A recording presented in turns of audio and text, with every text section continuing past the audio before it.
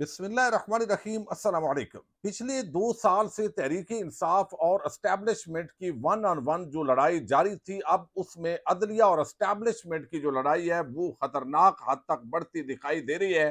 لاپتہ افراد کے کیسز کے اندر پہلی مرتبہ اسٹیبلشمنٹ کو ایک بڑی عدلیہ کی طرف سے مزاحمت کا سامنا ہے اور یوں لگتا ہے کہ جیسے طاقتور حلقے مسلسل کٹہرے میں کھڑے کیے جا رہے ہیں۔ پشاور ہائی کورٹ کے اندر بھی آج جو جج صاحب ہیں، انہوں نے بڑے عام ریمارکس دیے ہیں، لیکن اسلام آباد ہائی کورٹ کے اندر جسٹس موسن اختر کیانی نے ایک مرتبہ پھر سیکٹری دفاع، سیکٹری داخلہ اور تین سیکٹرز کمانڈرز کے حوالے سے ایک حکم جاری کیا ہے۔ اس کی جو تفصیل ہے، وہ اس ویڈیو میں آپ کے سامنے رکھنی ہے اور جس انداز کے اندر یہ چیزیں عدالتی محاذ پر بڑھتی جا رہی ہیں، اس پہ تو ہم بات کریں گے۔ تفصیل کے ساتھ عمران ریاض خان کو دوسرے مقدمے سے بھی بری کر دیا گیا اور بڑی پنجاب حکومت کو سبکی جو ہے وہ سامنا کرنا پڑا ہے۔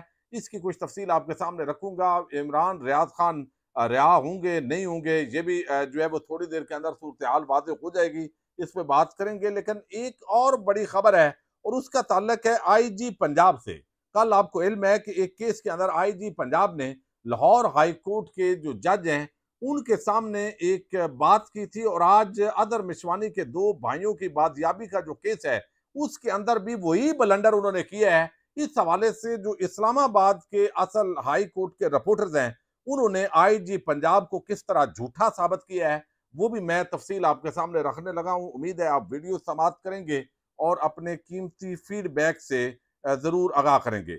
کل آئی جی پنجاب جو ہے، وہ لاہور ہائی کورٹ کے اندر پیش ہوئے اور آپ کو علم ہے کہ ان کو chief justice Lahore high court نے بلایا تھا، جو انسراد دہشت گردی عدالت کے جج ہیں، سرگودا کے، انہوں نے جو خط لکھا تھا، اس تناظر کے اندر یہ پیشی تھی کہ یہ سارا جو ایجنسیز ہیں، ان کے وہ بندے تلاش کریں۔ لیکن آئی جی نے کہا کہ ان کے پاس سی ڈی آر نہیں ہے، ان کے پاس جیو فینسنگ کی سہولت نہیں ہے۔ چونکہ اسلام آباد ہائی کورٹ جو ہے، اس نے ایک فیصلہ دیا ہے اس کے بعد ہمارے تو ہاتھ پاؤں بند گئے ہیں۔ حالانکہ نہ اندھے ہیں، نہ بہرے ہیں، نہ گونگے ہیں۔ بھئی پوری عدالت کو تو گھیرا ہوا تھا، آپ کے پولیس ڈپارٹمنٹ نے اور اندر جو ہے وہ جو بھی ہو، وہ تو پولیس ڈپارٹمنٹ کو ویسے ہی پتا ہے کہ اندر کون تھا، جج کو کس نے یرغمال بنایا ہوا تھا۔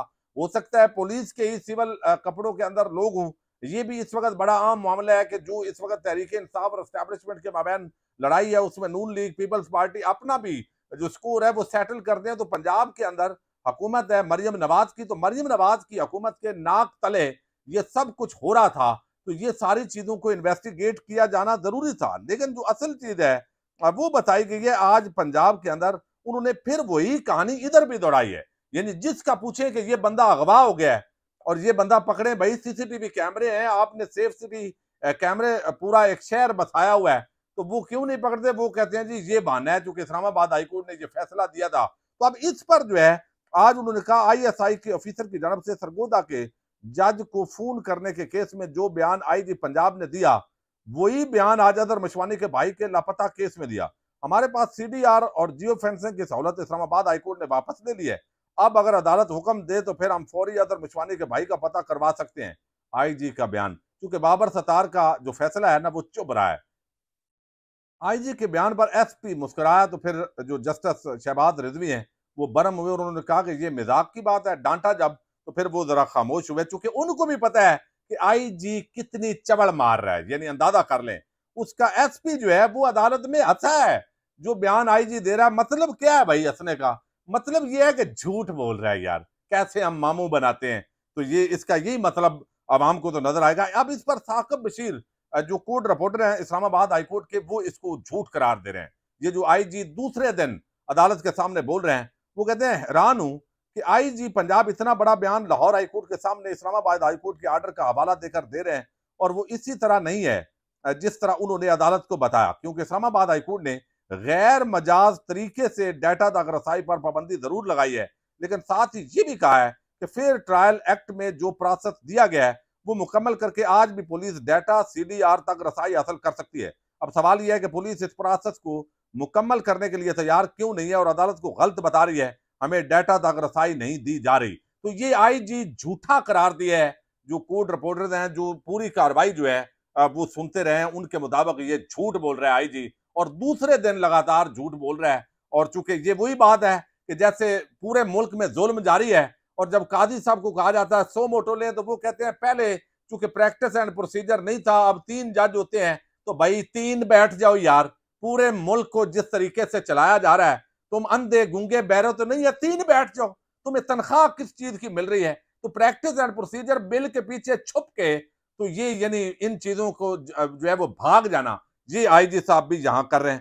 اچھا اب دوسری طرف جو ہے، پشاور ہائی کورٹ کے جج آپ اندازہ کریں، اس پہ تو ہم آئیں گے، لیکن دوسری طرف ایک اور معاملہ ہے اور وہ ہے، ایک تو آج کیس تھا خورشید ہیں صاحب وہ ان کا تعلق کشمیر سے ہے۔ ان کو بھی اغوا کیا گیا ہے۔ اور وہ بھی اغوا ہوئے ہیں اسلام آباد سے۔ اب یہ خواجہ خورشید ہیں، ان کا بھی ایک طبقہ فکر سے تعلق ہے دائرہ سیاسی طور پہ۔ تو ان کے کیس کے اندر آج پھر معاملہ اٹھا ہے اور وہ بھی انہوں نے بتایا کہ اسی طرح ان کو بھی اغوا کیا گیا، کشمیر سے ان کا تعلق ہے، جس طرح احمد فرحاد کو اغوا کیا گیا تھا۔ احمد فرحاد کو ویسے آج وہ رہا کرنے کا حکم دے دیا گیا، لیکن جو بات وہاں چیف جسٹس نے کی ہے کشمیر کے آزاد، جموں کشمیر کے، وہ آزاد کشمیر کا چیف جسٹس ہی کر سکتا ہے، جج کر سکتا ہے، اس پہ علیحدہ ویڈیو میں ذکر کریں گے۔ اب یہاں پہ انہوں نے کہا کہ خواجہ خورشید کشمیر وادی نیلم کا رہنے والا ہے، یہ وکیل نے کہا ہے۔ کیا خواجہ خورشید راول پنڈی سے لاپتہ ہوا عدالت کا جی اسلام آباد بلایا گیا تھا اور وہاں سے اٹھا لیا گیا۔ یہ وکیل نے سیکٹری دفاع راول پنڈی، اسلام آباد اور آزاد کشمیر کے سیکٹر کمانڈر سے رپورٹ لے کر آگاہ کریں۔ یہ جسٹس محسن اختر کیانی نے اب دیکھیں نا مسلسل لاپتہ افراد کے کیسز آ رہے ہیں عدالتوں کے اندر اور مسلسل جو میں بات کر رہا ہوں کہ مسلسل جو اسٹیبلشمنٹ ہے، جو ایجنسیز ہیں، وہ اب کٹہرے میں آ رہی ہیں اور عدلیہ ورسز جو ایجنسیز یا اسٹیبلشمنٹ جنگ ہے، اس کے اندر اب یہ بہت اضافہ ہو رہا ہے تیزی کے ساتھ۔ چونکہ ججز پر جو دباؤ ہے، اب نیچے سے ججز بولنا شروع ہو گئے اب ہر کیس کے اندر سیکٹری دفاع سیکٹری داخلہ اور سیکٹر کمانڈر تک بات پہنچ رہی ہے۔ یہ چند مہینے پہلے کوئی بھی اس کا ذکر نہیں کرتا تھا۔ سپریم کورٹ کے ججز بھی یہ ذکر نہیں کرتے تھے۔ تو یہ معاملہ اب یہاں ہے۔ تو جسٹس محسن اختر کیانی نے اس کیس کے اندر کہا ہے کہ سیکٹری دفاع یعنی وہ کہتے ہیں، پھر راول پنڈی اسلام آباد اور آزاد کشمیر۔ یہ تین جو سیکٹر کمانڈر ہیں ان سے رپورٹ لے کر آگاہ کریں۔ داخلہ کا اور دفاع کا سیکٹری۔ مسنگ پرسن میں وکیل نے کہا کہ کچھ پتہ نہیں چل رہا کہ وہ زندہ بھی ہے یا نہیں۔ بچے پریشان ہیں، عید آ رہی ہے، آئندہ سماعت عید کے فوری بعد ورکنگ ڈے پر رکھ لیں۔ جیسے محسن اختر کیانے نے کہا کہ ایک دن عید کے بعد دوں گا، اس کے بعد یہ سماعت رکھیں گے اور پھر ان کو جواب دینا پڑے گا۔ اب یہ اسی طرح اکیس جون کے لیے اب نوٹس جاری کر دیا گیا جی۔ سیکٹری دفاع کو سیکٹری داخلہ کو کہ وہ تینوں سیکٹری داخلہ کو دفاع کو کہا گیا ہے کہ تینوں سیکٹر کمانڈر جو ہیں، ان سے رپورٹ لیں کہ یہ بندے کہاں ہیں، کدھر ہیں۔ تو یہ چیز جو ہے، ایک تو بڑی ہے۔ اچھا دوسرا جو بلوچ طلبہ، لاپتہ طلبہ ہیں اس کیس کے اندر بھی آج بڑی عام پیش رفت ہوئی ہے۔ اور اس کے اندر بھی چونکہ آپ کو علم ہے کہ یہی sector commander I B I S I باقی جو ایجنسیز ہیں ان کے معاملات جو ہے اس کے اندر ڈسکس ہو رہے ہیں۔ اس کے اندر جو ہے وہ کہا گیا ہے کہ یہاں پہ وہ کہتے ہیں کہ یہ سارا بڑا ہی عام جو کیس ہے، اس کے اندر میں تھوڑی سی تفصیل چاہتا ہوں کہ آپ کے سامنے جو ہے وہ بھرپور طریقے سے رکھوں۔ اب اس کے اندر انہوں نے کہا، جو جسٹس محسن اختر کیانی ہے وہ کہتے ہیں، اداروں پر الزام لگ رہے ہوتے ہیں۔ انہوں نے پرفارم کرنا اور الزام کو غلط ثابت کرنا ہوتا ہے۔ یعنی کہ الزام ہے کہ بھائی اغوا کس نے کیے ہیں۔ تو انہوں چاہیے کہ اپنے عمل سے غلط ثابت کریں۔ لیکن وہ کہتے ہیں، پچانوے میں سے اکانوے لوگ ٹریس ہوئے۔ ابھی تک انہیں بلا کر بیانات ریکارڈ نہیں کیے گئے۔ یعنی بتایا گیا کہ اکانوے لوگ ٹریس ہو گئے ہیں۔ ان کے بیانات وہ کہتے ہیں، اگر ریکارڈ پہ آئیں، لاپتہ افراد کی فیملی تو اپنے بچوں کے انتظار میں ہے۔ مجھے جو یہ نظر آتا ہے، یہ لڑکی پورے پاکستان کی طرف سے کھڑی ہے۔ ایمان مداری کی طرف انہوں نے کہا۔ اس کے بعد یہ ہوگا کہ ہم آپ کو نہیں کہیں گے۔ انہیں ڈائریکٹ بلا کر پوچھیں گے۔ ایجنسیوں کا اپنا کام ہے۔ انہیں کام سے نہیں روک رہے۔ یعنی وہ کہتے ہیں کہ اگر تو کوئی مقدمہ ہے، کسی محکمے کا ہے، تو پھر ہم ان سے بات کریں گے، آپ سے نہیں کریں گے۔ انہیں کام سے، اگر ایک آدمی کو ایجنسیوں کے بعد رکھ کر بات سی ٹی ڈی سے پانچ سو گرام دھماکہ خید مواد ڈالنا ہے اس سے تو پھر صرف عدالتوں کا وقت ضائع ہوتا ہے۔ بین الاقوامی سطح پر ہم انسانی حقوق کی خلاف ورزیوں کے طور پر پہچانے جاتے ہیں۔ یہی وجہ ہے۔ سرمایہ کار بھی یہاں نہیں آ رہے۔ عدالتی فرسٹریٹ ہو کر کیس بند نہیں کر دیتی، وہ فیصلہ دیتی ہیں۔ یعنی ہم پھر بھی فیصلہ دیں گے۔ یعنی یہ مت رہنا کہ ہم فیصلہ نہیں دیں گے۔ لیکن جو ایس آئی ایف سی ہے، شاید اس کو بھی پیغام دیا گیا ہے کہ بھائی یہ جو آپ بنا رہے ہو نا، سرمایہ کاری اور پورا ملک دودھ اور شہد کی نہریں کاغذوں پہ بہا رہے ہو یہ نہیں ہوگی جب تک یہ اغوا اور یہ چیزیں ختم نہیں ہوں گی۔ اچھا یہ بات انہوں نے کی۔ وہ کہتے ہیں کہ اب لانگ ٹرم مسنگ معاملہ شارٹ ٹرم مسنگ کی شکل اختیار کر رہا ہے۔ کسی لیول پر فیصلہ سازوں سے کسی نے سوال کیا، وہ محسوس نہیں کر رہے کہ کس طرح نفرت بڑھ رہی ہے۔ ضرور ان میں دہشت گرد بھی ہوں گے، لیکن جو بھی ہونا ہے، قانون کے مطابق ہونا ہے۔ عدالتوں میں بھی ابھی فقدان ہے کہ ہم ابھی صرف ریکوری پر فوکس کرتے ہیں۔